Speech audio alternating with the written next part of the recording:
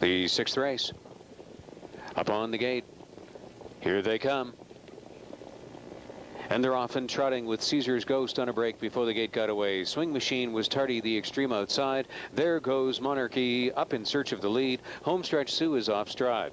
River of Glory leaves along the inside second. Driving Image is on a break. Inheriting third is Stormont Groom. Held wide, Chant Rouge now inherits fourth position. Stormont Rumba trots through in fifth. Cat's Meow was wide from six. Swing Machine third from last ahead of Caesar's Ghost. And Homestretch Sue is the distance trailer. Into the first turn, Monarchy is in command, 29 and 2. Uh, that's Monarchy and Mario Baillargeon leading him around the first turn. Racing along in second is River of Glory, hitting the three hole. Stormont Groom crossed over effectively. It's three more lengths to Chant Rouge, laying off from fourth. Stormont Rumba is the fifth one. Cat's Meow taking sixth in line, then Swing Machine just ahead of Caesar's Ghost, and the distance trailers are Driving Image, and Homestretch Sue is again off stride and out of contention. Monarchy, uh, the leader all the way to the half and looking confident. River of Glory getting the best trip of all. Stormont Groom tracks that top trio. A minute and two was the half. Monarchy, River of Glory, Stormont Groom, the first three moving into the final turn. Chant Rouge, a two length gap unclosed from fourth. Stormont Rumba